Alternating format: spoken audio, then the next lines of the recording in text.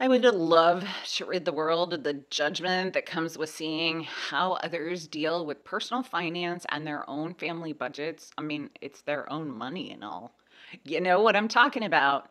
That holy roller internal voice of yours in your head that says, They spent how much on date night? What are they thinking spending that kind of money on food this month? They bought new clothes for their kids at that store. I'll be honest, that is a voice that I have inside my head too. And it's a voice I'm actively trying to get rid of. So, today I want to talk about that and a whole bunch other stuff that you discover when you start to post your financial stuff on the internet for the whole world to see.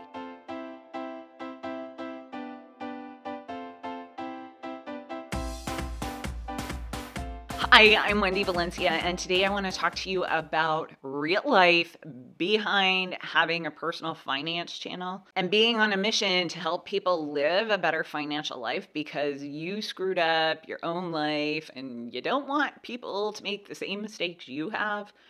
Or you just want to show people that you actually can turn your life around that's where we are. Uh, I first started talking about our personal finances when we had over $300,000 in debt and we were pretty much living paycheck to paycheck, more or less. We had enough each month to pay the bills, but we put so much money to debt every month and we decided we wanted something better for our future, something different. We decided to get out of debt and in the last 33 months, we have paid off $188,000 worth of debt.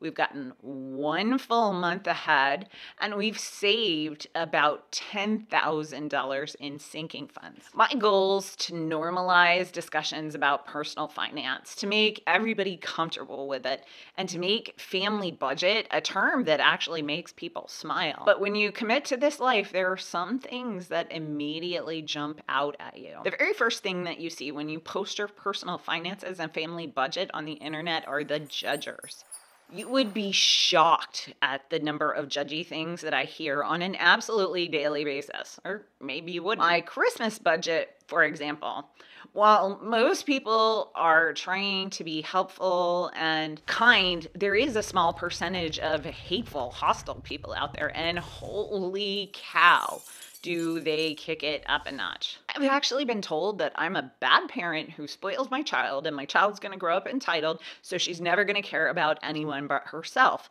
which actually surprisingly I've heard several times. And that actually makes me laugh when you know how much of a bleeding heart Melina is. I've also been told like my husband and I don't love each other because we wouldn't feel compelled to buy expensive gifts for each other if we actually were in love. And I genuinely feel sad for this people because that much judgment can't possibly be healthy for someone. The second thing you see when you post your personal finances and family budget on the internet is that the people we know in real life know exactly how much money we make and where we spend our money. And this includes coworkers, my boss, the ladies that go to book club with me, my friends, my neighbors, my mom. Hi mom. It's it's hard having everybody know about your personal finances and it, it can be extremely uncomfortable in social situations. The third thing that you see when you start to post your finances and family budget on the internet is that some people are actually destined to be failures in the personal finance arena. And I find this actually one of the hardest parts about doing this because there are just some people out there who, no matter what you tell them, you're not going to be able to help them because you can't help them until they decide to help themselves. And, and and these people aren't that way because they can't help themselves. They can turn it around. They just choose to be the way that they are. These people actually break my heart probably more than anyone because I can't possibly imagine living a life with no hope for success in the future. The fourth thing that you see when you post your personal finances and family budget on the internet is that you really, really have to be careful not to overshare. And I'm an oversharer by nature, but not just our bank account numbers and our passwords, and it's actually other things too, like the name of our daughter's school or her doctor or her swim team or the other kids she hangs out with, ways that might make it easy for the world to figure out where we are regularly. And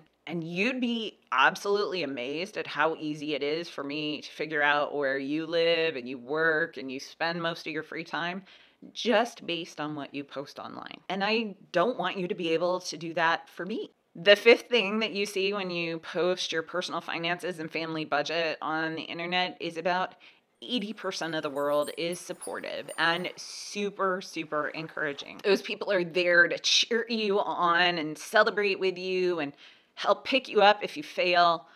These are the people I do this for, and they are the reason I'm going to succeed.